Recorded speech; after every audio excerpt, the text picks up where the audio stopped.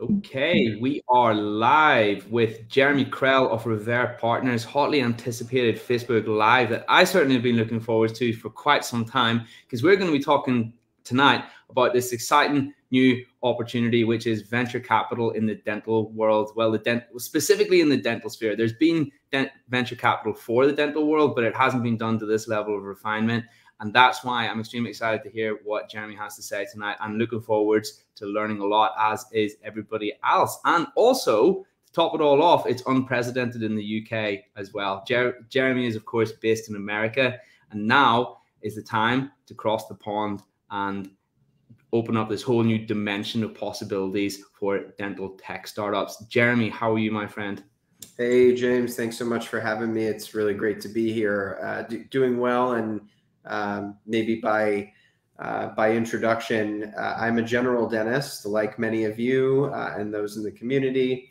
Um, I have really spent the majority of my career, uh, even though I've, I've been in clinical dentistry for a decade, I've really spent the majority of my career in um, what we call really the startup world uh, or entrepreneurship in general, uh, where I've been for about 18 years. First, I started in uh, tech, then um, oral, then health tech, now oral tech. Um, and so some of my past companies you may or may not have heard of being across the pond, but Oscar Health Insurance, which IPO'd about 16 months ago, uh, as well as Quip, uh, the subscription electric toothbrush oral health product company, um, founded by a, a, a British uh, co-founder uh, as well there. Uh, and then I've spent my time sort of building out first uh, a boutique consulting firm um, slash family office, and now Revere Partners, which is really the first and only venture capital fund that's exclusively focused on on dental technology uh, and globally, globally in both, both our investors and, and investments. So really happy to be here. That's awesome, man. And you, of course, are a dentist yourself, but you've got a history of starting companies that have done extremely well. Can you delve into that a little bit more? Because that was something that really impressed me whenever we spoke. Well, when when I was over in the states to see you recently, and prior to that. Yeah, sure, absolutely. And look, some of it is sheer dumb luck, and some of it is is good people, and and and some of it is you know listening and leading. But I started in technology. Um, really a, a, web and graphic design company that I, I uh, co-founded with a best friend. Uh, we spun two companies off uh, and, and sold them to major uh, major CPG players. Um, from there, because that felt really good, uh, and and you know it's kind of like a, a, bit of a business high, if you will. Um, we went. I went to a luxury good and commodity service targeting college students. Uh, we scaled it up. I was the chief director of sales, uh, ultimately the chief operating officer before selling the company four years later. Um, and that was right before the 2008 market crash, right? So kind of escaping by the skin of our teeth, if you will. Very, very lucky um, to have kind of sold that company before anybody really realized what 2008 had to had to bear. Um, and then you know kind of went into development mode um, you know, during the the financial crisis, thinking about you know how could I do what I had done previously on a larger scale, and so started a uh, an incubator in Boston, together to New York, Chicago, San Francisco. Um, we were kind of industry agnostic and would help startups with three things: kind of lean startup methodology, recruitment, and retention of talent. Uh, you know, secondly, recruiting funds. We were not a fund ourselves, and then lastly you know some of the otherwise time consuming or expensive services like web and graphic design that would help them get off the ground. And so i ran that incubator for five years and loved working with all the new products and services uh, before i stepped down to sit on the on the board.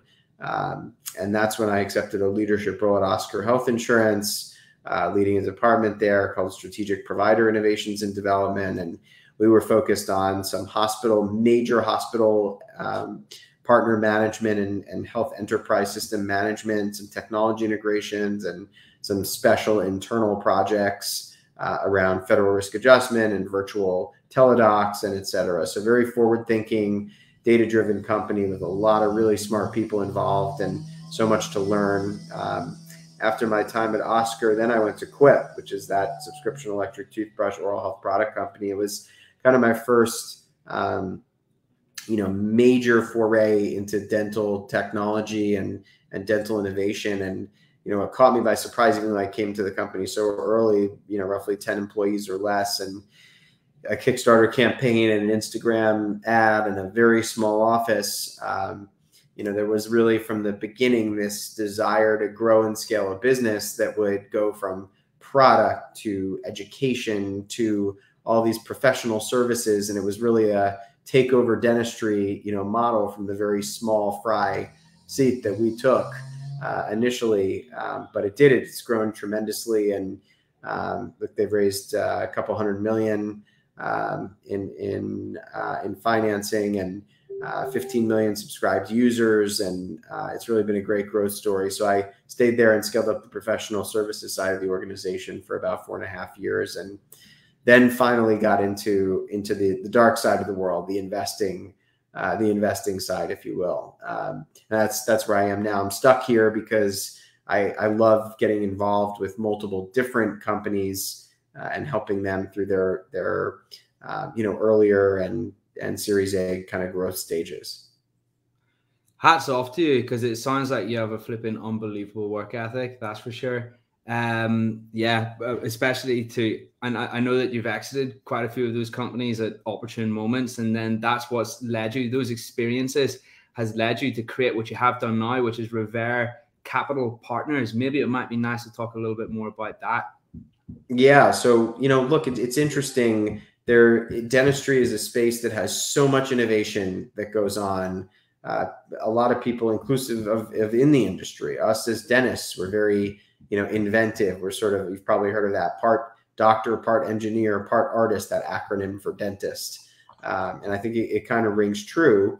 It's also a space that's lagged behind other spaces for a long time in terms of technology innovation. So it's really ripe in terms of turning over some of the old models and materials and techniques. And and so that's really a ripe ground for for inventors. Um, the problem was it's very hindered by capital. So we wanted to create a um, a venture structure that would support uh, early stage technology startups not just the practice side of the industry right we kind of started by dentists for dentists with the notion of how do i own what's in the practice not just the four walls of the practice itself right so we have a couple of kind of key things to this, uh, where we kind of co-founded a, a, unique fund structure.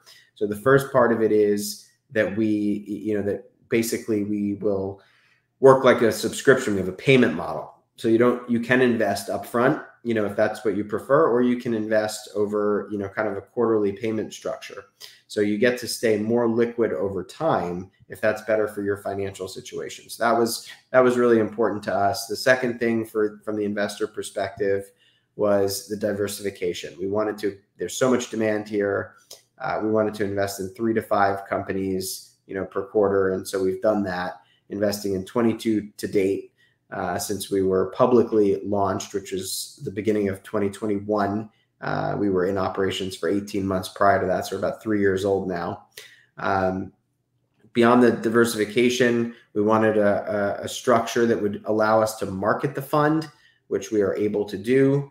Uh, we wanted a structure that would remain open ended uh, and allow us to continue to raise capital into the fund without shutting it off, closing the fund.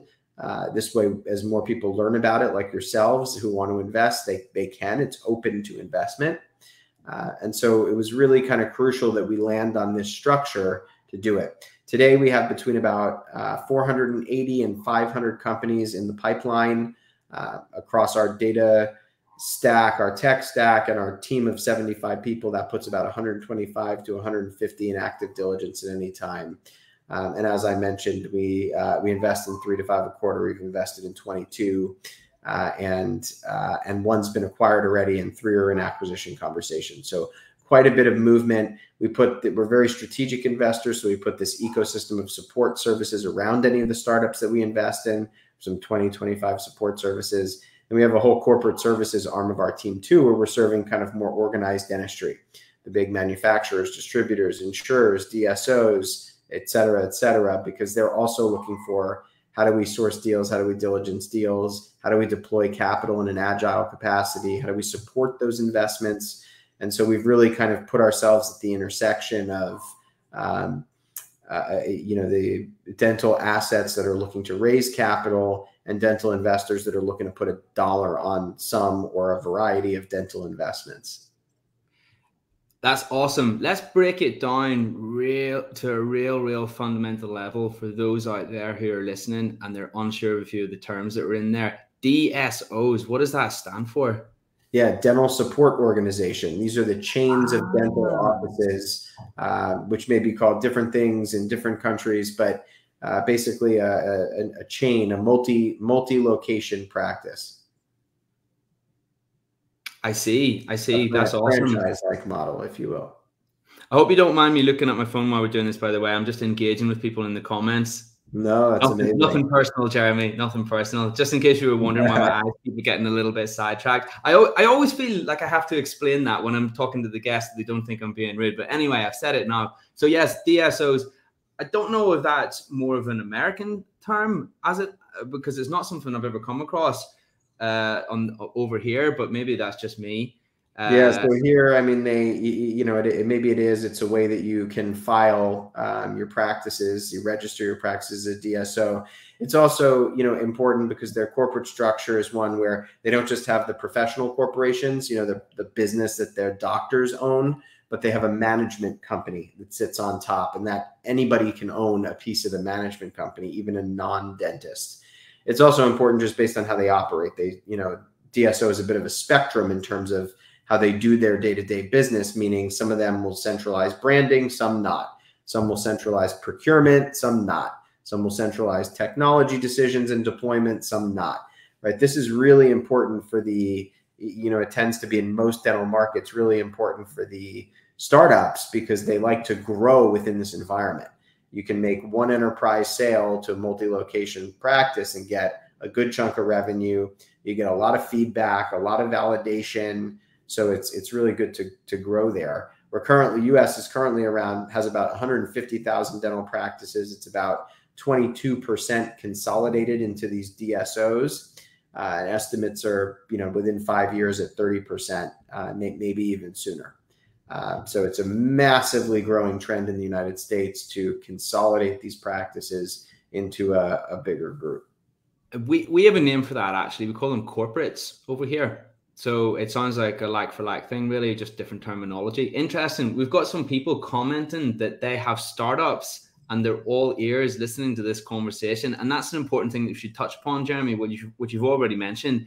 This is not just us speaking about you from the point of view that you'd like dentists to invest in Revere and hence grant it more liquidity. It's actually us extending the arm to anybody out there who has any sort of startup centered around the dental world. But we'll come on to that in just two minutes in more detail.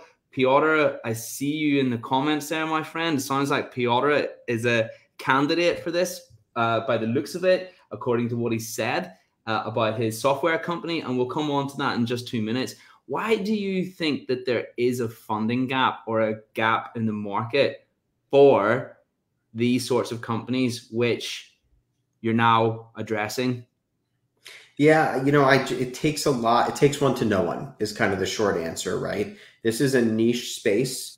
You can do really well in this space in a lot of ways, from working in a corporate, you know, manufacturer, distributor, insurance, or your version of corporate practices, right?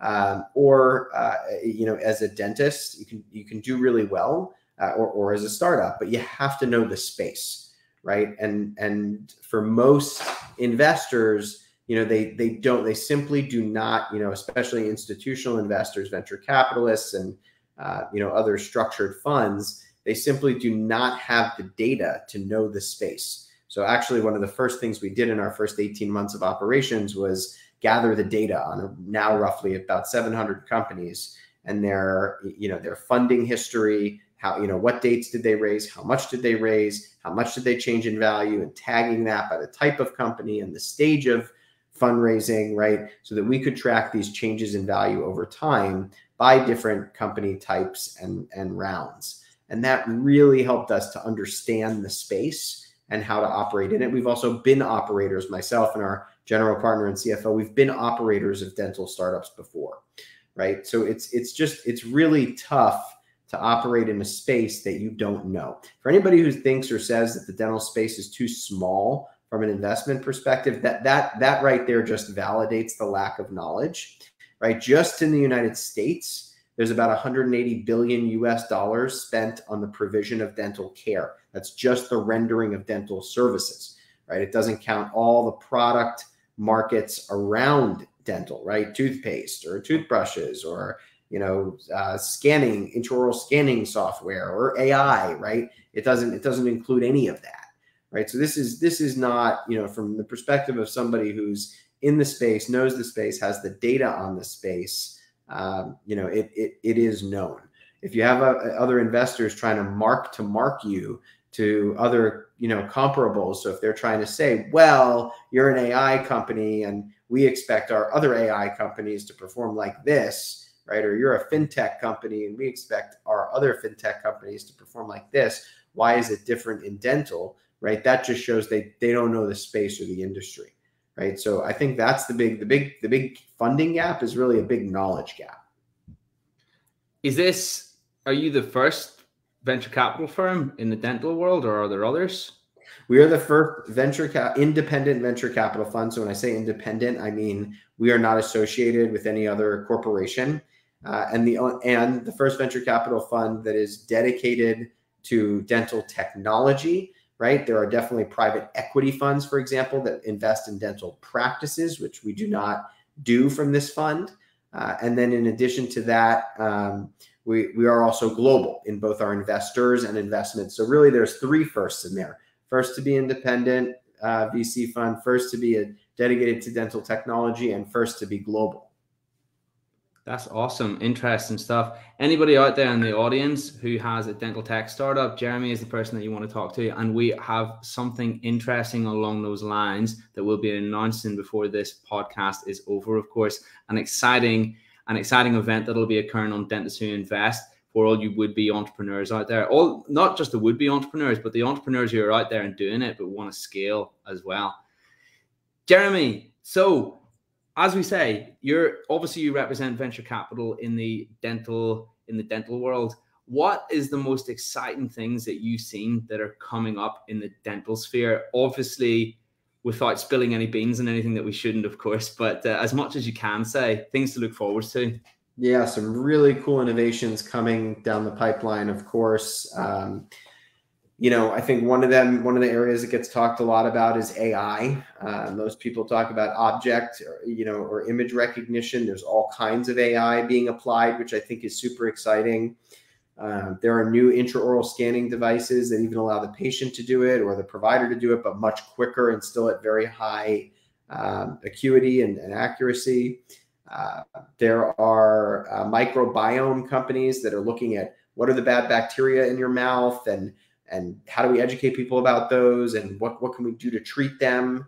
Um, so those those are really exciting. Orthodonture and different ways to allow general practitioners to treat complex cases, um, 3D printing of bone scaffolding robots that cut teeth and place implants by themselves. I mean, there is a, a repertoire of um, of new innovations coming down down the pipeline. Now, since we've seen hundreds of these, it takes you know it takes a bit to to catch me by surprise. But every now and then, you know, you walk down and read uh, you know your emails and you find that there are now nanobots that can uh, you know help to clear the plaque on your teeth right? So it, there really is there really is something for for everyone there. Really cutting edge future of dentistry stuff.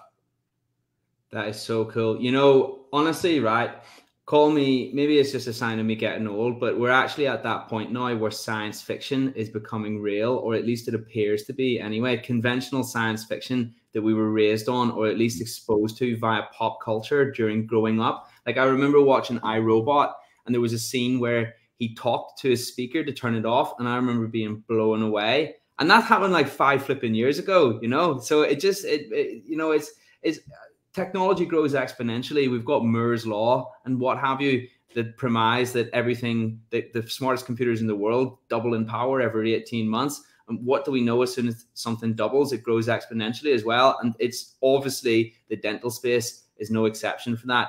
there'll be some would-be entrepreneurs in the audience tonight. What are you looking for from these individuals for them to make themselves invest worthy for Revere? Yeah, and look, but you know, bear in mind with anything that I say here, you can't go back and change change anything in the past, right? You can only only have control over the future. But there are a variety of things that certainly help. Um, you know, first, do do you have something that's groundbreaking, right? Uh, is your product or your service is it is it really going to change the way that you know dentistry is practiced, or the provider experience, or the patient experience, or health outcomes? Is it going to make those significantly better, right, and really serve the value chain? Um, I, another one is more from the people perspective, right? Um, how are you in terms of your interpersonal skills, your team working skills, your leadership skills, right? Does your background warrant what you're saying that you can do or that your team is going to do in terms of, of founding this company and running this company? Uh, are you coachable, right? Can you take feedback? That's uh, huge. That's huge, by the way. One. Uh, we get on calls. Sometimes we give feedback, which not a lot of you know VCs necessarily do. Um, and when that is met with resistance um, or defensiveness, uh, you know that that is that is not necessarily taken well uh, on on the investor side. Um, so that's that's kind of another um, another thing to kind of think about. Um, and then uh, you know there, there's there's much more to it. Is your market size? Are you thinking about your market size reasonably? Right, uh, your TAM, your SAM, your SOM. Are you are you identifying who you need to be targeting right now at this stage? Uh, is is that there? Um, so I think those are some of the the key elements that we look for right up front. I think the EQ thing is massive in business and still somehow underrated. You can have the best product in the world, but if you have no people skills, you're never going to be able to get yourself out there and promo it. It's actually a huge thing. In fact, if anything, it takes precedent. Obviously, there has to be some level of technical worthiness, I suppose, in whatever you've created effectively. But the soft skills are the new hard skills. I don't even know if that's a revelation for most people listening, but it certainly was something that struck me through going through this whole entrepreneurial journey. The greatest CEOs are the people with the greatest EQ who are the most the most in touch with reality. Big time. Yeah, that's absolutely right. Um, and look, these are the life. Our venture, having great investors and excellent um, startups, is are the lifeblood of any fund, right? Um, so you, you know we're inviting these people not only to our portfolio but to our team. So we really want to see that um, you know you're you're after it, that you know your your your strengths, that you're aware of your weaknesses, and uh, you know you're able to mitigate those weaknesses and push harder on the strengths when you need to.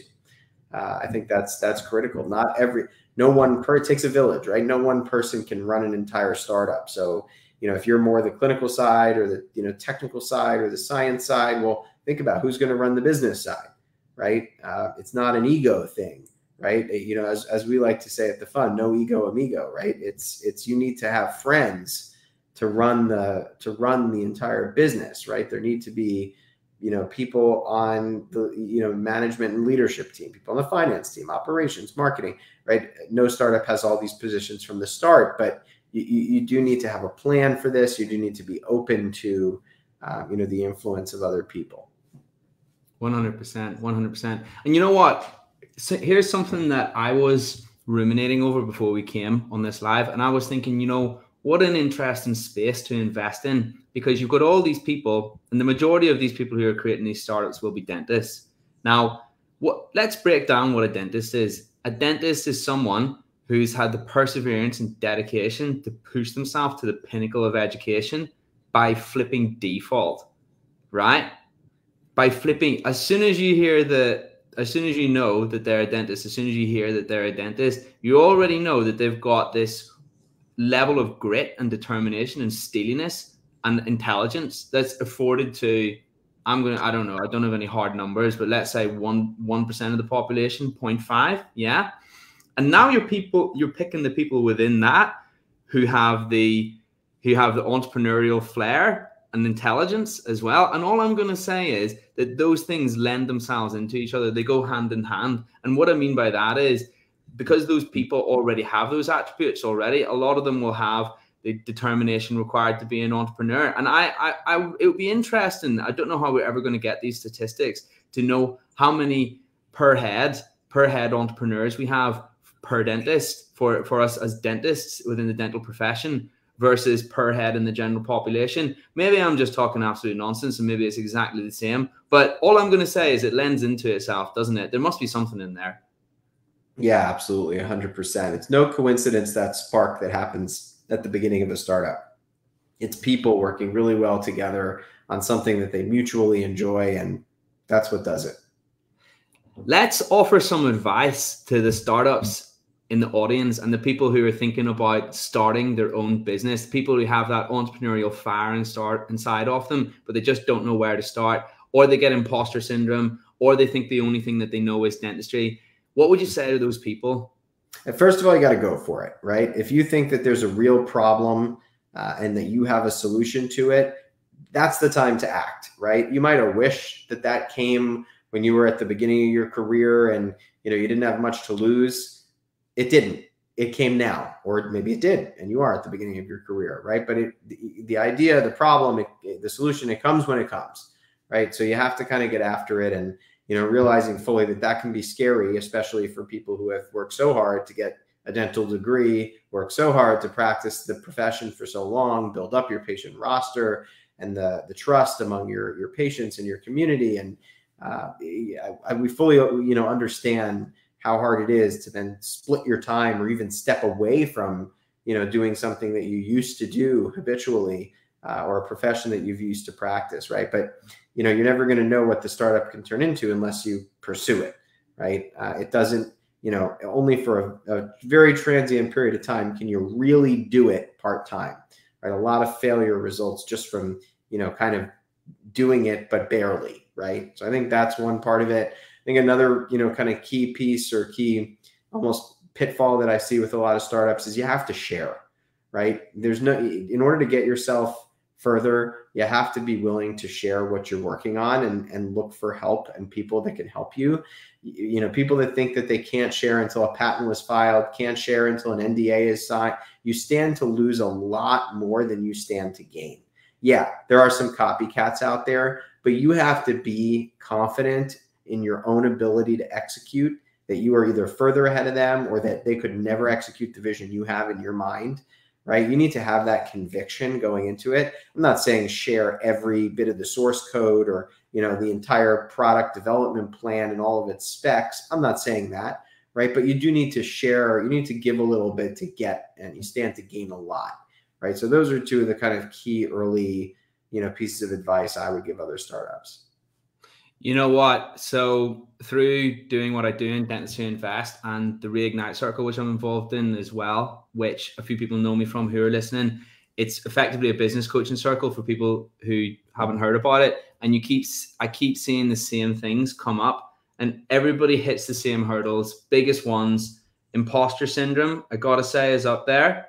The one that you said about not sharing that's got to be up there too. Like we're indoctrinated to think that we have to have some sort of legal document in order to do well, in order to disclose what we're we're proposing. And and not just that, just with flipping everything. People are so obsessed with getting documents and signing agreements and contracts and what have you. If someone really does not like you and does want to get you, it doesn't matter what a contract says, they'll find a way. So the actual best way to avoid all of that is just to be nice as hell to absolutely everyone, at least in my experience anyway. And the thing about it is, if you are actually like that, it won't be inauthentic anyway. You just got to be real, you know. And people, people will, people will buy from you because you're a person that they can relate to. That's actually your greatest strength is your uniqueness. And I just wanted to touch upon one thing that you said just there, which was just like what you were saying a minute ago. People feel like if someone beats them that that's because they've disclosed too much information about what they do. I would actually flip that on its head and i would say listen if anybody beats me in this game in whatever i do i actually see that as a reflection on me and the fact that i need to improve. I'm looking here not here if that occurs because what it means is that there's something that i didn't do right. There's something that i could be much better at there's something that I could have improved upon. And that for me is the lesson or the gift when something like that occurs. It's just a mindset flip. And if anything, it's an opportunity to learn and push yourself further. Yeah, absolutely. Another way of looking at it. It's on you. It's a it's an early startup. It isn't going to build itself. You got to do it. Yeah, and you know what? You know what? Another thing that you said, and again, I love this stuff. Like this stuff gives me energy big time when I'm on these, when I'm on those coaching calls, and when I'm doing this effectively, because we're just talking about the same thing. One of the greatest things is fear. That's the that's one of the biggest things that holds people back. It's this fear that once upon a time served us back when we used to be cavemen and cavewomen. Okay, now this is going to get a little bit abstract, but bear with me. All right, once upon a time, we lived when we lived in caves the thing that kept us in the cave so we didn't venture outside when we didn't need to was fear. But the difference was back then, if we went outside, we'd get eaten by a wild animal. Something bad would happen. Are you with me? Yeah. so, if effectively, effectively, the people that did do that, the people that did push those boundaries, were removed from the flipping gene pool. Okay. Now, right, we don't have to worry about that when we walk out our front door, or some or pushing ourselves outside of our comfort zone, or doing something that may not necessarily be accepted by our peers, it doesn't have the same level of importance as it did when we lived these very secluded tribal lifestyles. Whereas nowadays, that's actually the thing that people are, are seeking to avoid sometimes. That's the fear. It's the fear of rejection of those around them. What if it doesn't work out? What if people laugh at me? What if this, this, X, Y, and Z happens? You know, that's that's how that fear doesn't serve you anymore, but it's actually this ancient instinct that still resides in our heads. And that for me is how I at least perceive that in other people when I see it. And listen, we all get it. I get it. Everybody gets it from some time to time. But that for me is how I've reconciled that or understood it. That's how I perceive it. That's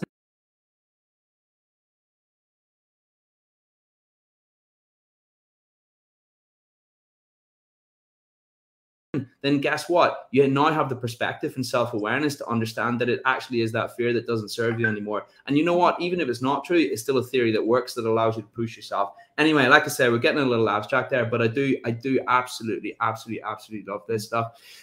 We've got some questions coming in. We have Facebook user. How many active users tech startup companies would should have? Let me just construct this sentence here because it's a bit jumbled. How many active users tech startup should a tech startup company have before approaching venture capital firms? I believe that's what the question is trying to say. Yeah, so you know, look, there there isn't we get this question a lot. There isn't necessarily a hard number. Every startup is so different, its product or its service. We are attracted to traction, right? Naturally speaking. Uh, you know, when when you're showing us that there's demand for this thing that you've done or that you've built. You know we want to know more about it.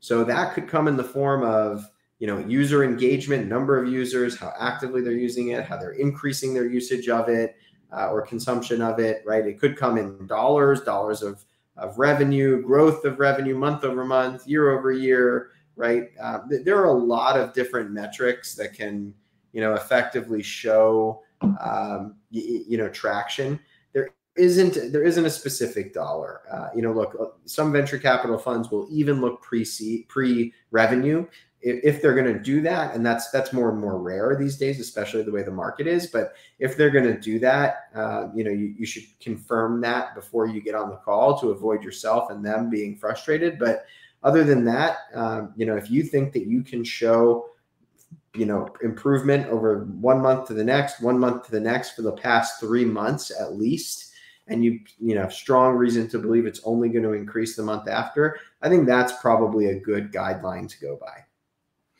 So this question vaguely came up between you and i beforehand although not quite in the same format but something similar. And i was saying to you listen jeremy when these people approach me on the group is there any such thing as too early to be seeking venture capital? And the way that you phrased it stuck with me a little bit because you said listen as long as it's a, maybe a tier above a, a, an idea jotted on a napkin, then it's good. You know, it's worth a conversation. Because here's the thing: even if it's not like you know we're gonna jump in and invest in them tomorrow, it's a it's a conversation starter. And as it's a process, it's an evolution, it's a journey.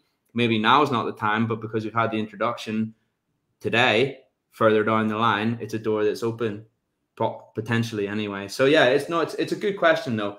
Uh, Mark Warren has contributed something, and I'm not sure. I'm I don't know if this is the first time you've heard this joke, but I think it's mildly witty. If not, surely you mean denture capital.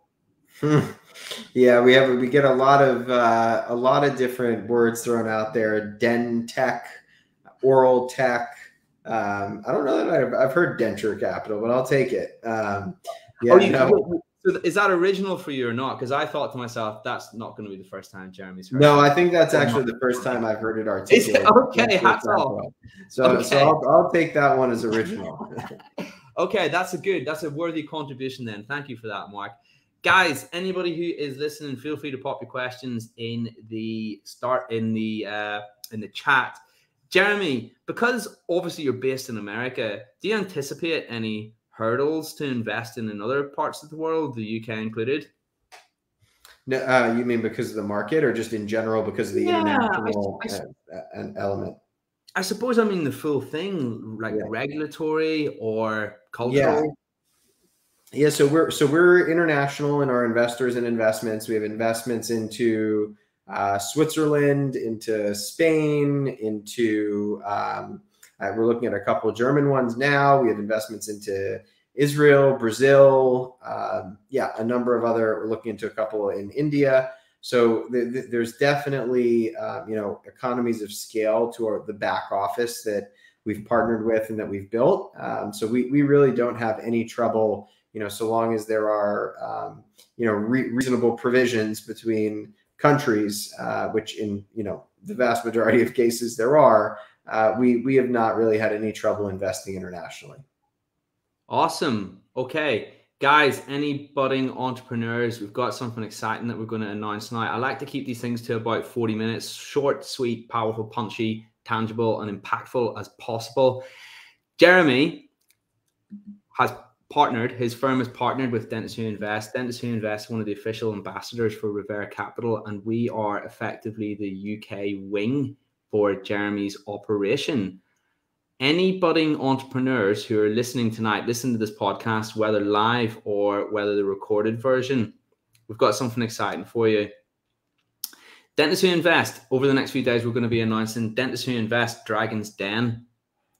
That's where we want you guys to come along and pitch your companies we want as many as possible. We want the best of the best. We're only going to let the best of the best on the live show where we, the dragons, are going to be breaking down your company, analyzing it from the bottom up, plus also giving you actionable advice to take it to the next level. So it's really going to be worthwhile for you guys. Anybody out there who's got a company who is just at the start of their journey or even have, or even progressing nicely through their journey what a valuable opportunity to have the dragons analyze your company and break it down the best of the best from that live content, from that live video, from that live broadcast that we'll be creating on the group, which will be shot, which will be broadcast over the next few weeks. The best of the best will be able to pitch their companies to Jeremy and have the opportunity for some serious venture capital, which is going to take your business to the next level. I'm flipping excited for that. I don't know about you, Jeremy. Yeah, super excited. It kind of takes me back to your analogy with the caveman and if you went out of the cave you'd get eaten by a and i wanted you to say dragon so badly. Foreshadow the dragon's den announcement but no super excited for it. And yes you can definitely kind of view uh, james and dentists who invest as you know kind of our eyes and ears on the ground in um, in your part of the world. And, and we're so excited to to be looking there because there's often advantages. Um, I know a lot of companies want to enter the US market and its dental market. There are other big markets around the world too. Uh, the, big, Brazil, I'd argue, is a bigger market dentally than uh, than the U.S. Australia has a booming dental market. Not only that, sometimes for regulatory reasons, other markets are are are more viable. Sometimes it's easier in the EU or with Health Canada or um, you know some other uh, some other system. So uh, look, we're very excited to to be looking at international dental technology, or should I say, denture capital. Denture capital. There we go. There we go. That's awesome. That was a, that was a quite a moment of brilliance there, Mark. I, I really enjoyed that. Thank you. Also, as well as that, I was going to say something else. Well, this is the thing. You know, this is the best way that I had someone, uh, maybe maybe about a year ago, explain venture capital or investing in someone else's company, it's not just the money that comes into it. It's the connections and opportunities that come because of it, because they now have a vested interest in it. And it becomes effectively a social enterprise, which is really cool. And I never, I get it, I guess that it made sense, but I never had it explained in that sense to me. And I really, really enjoyed that. So I'm just going to plant that seed, leave it to simmer and grow and germinate until Jeremy and I appear on the group again next with Dental Dragons Den.